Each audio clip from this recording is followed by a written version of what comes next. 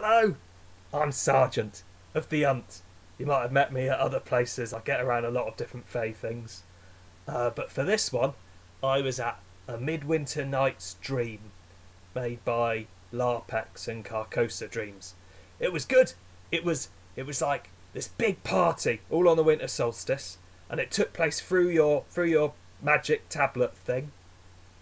And like we all came together in this one place, like there'd been a terrible thing had happened, like Oberon and Titania have been asleep for ages, and we need to try to wake them up. And there were four great Fey Lords that all called us, and we all got like sent a thing that showed us which one of our patrons was calling us. So I was called by Cobweb because I got a little spider friend.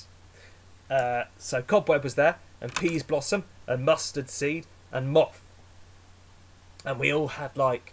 Also, we were sent this whole box full of things along with our invite. We were sent these beautiful things that were all folded up and then contained within them information about what had been going on in the Fey courts and in the Fey lands. And if you added it all up, then you could start to work out some of the story elements.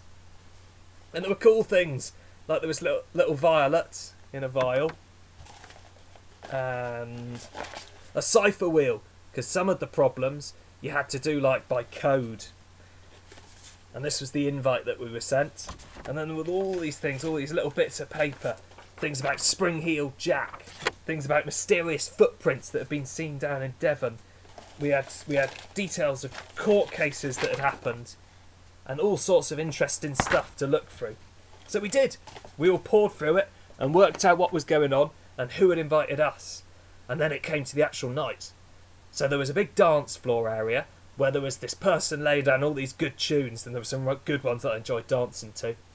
Then also there was like a cabaret area where different Fey humans that had been called to this party could perform. And then also there were like four areas for the four different Fey Lords, so I spent a lot of time with Cobweb, my big spider boss. But also I went and saw Mustard Seed quite a lot. Popped in on Peaseblossom and Moth, but yeah, most mostly those two.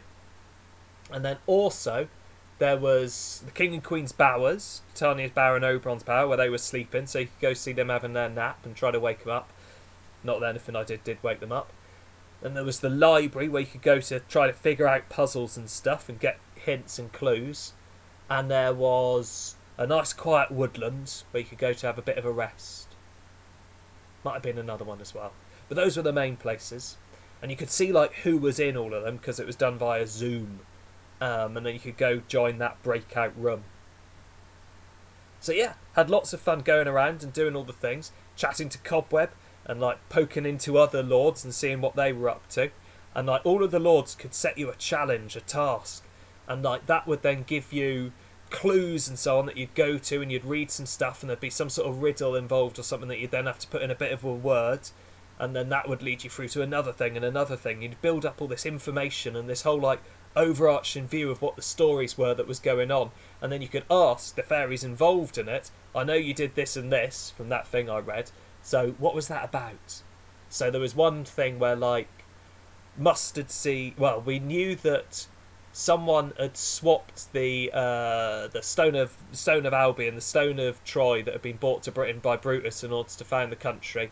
It was in a place in London, and then had been swapped with a wheel of cheese, and then that cheese had been buried by Samuel Pepys.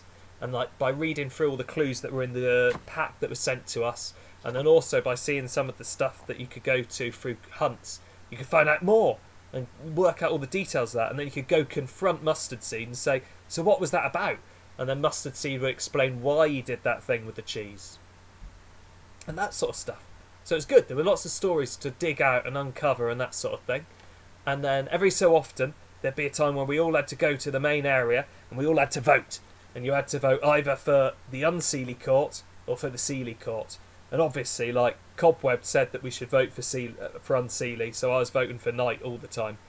Um, and then at the end of it, it revealed that actually that was to decide who was going to be the boss now. Was it going to be Titania and Oberon? And it was all to do whether it was Unseelie or Seelie that was up on tops. Uh, but we got together, loads of us Cobweb people were very loyal. When Cobweb told us to go off and vote, we went off and voted, and so that was good. And yeah, there was beautiful things to watch being performed, and there was great music being played, and all those stories to uncover, and it was good. I think like if I was going to add one thing, would have been something to like pull it together. Like we'd found out all this information, and you could use that to dig out more information from the Fey Lords and stuff. But some way that that led to them waking up, I think would have been the ideal. But I had a really good time. I got to see loads of great people and have a great night. And I'm now like fully immersed in all these stories, and I want to know more. And I kind of want to follow all of the clues and find all the hunts that I didn't do at the time, and read everything possible. Um, so I had a great time, and uh, night night everyone that I saw, night night everyone that I didn't yet see, and I hope you all have a great Midwinter Night's Dream.